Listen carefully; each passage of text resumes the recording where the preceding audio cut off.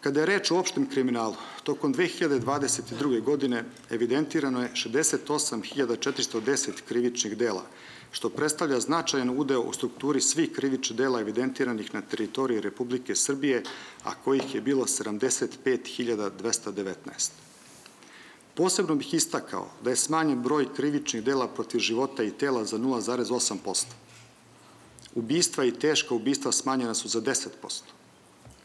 Razbojništva za 13,2%. Neovlašćeno korišćenje tuđeg vozila za 4,5%.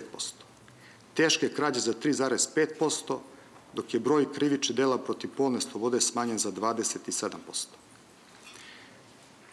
Takođe, tokom 2022. godine evidentirano je 4297 krivičnih dela izvršenih od strane maloletnih lica, dok je učešće maloletničkog kriminala u ukupnom kriminalu na istom nivou kao prošle godine iznosi 5,7%.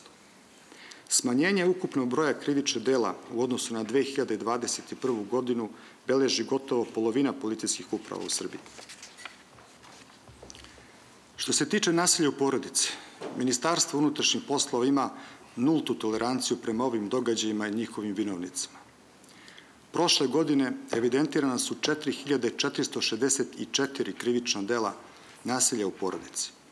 Policija je podnela 4355 krivičnih prijava i izrekla 31.331 hitnu meru, od čega 9443 mere privremenog udaljenja nasilnika iz stana i 21.888 mera privremene zabrane počinjujucu da kontaktira žrtvu i prilazi joj.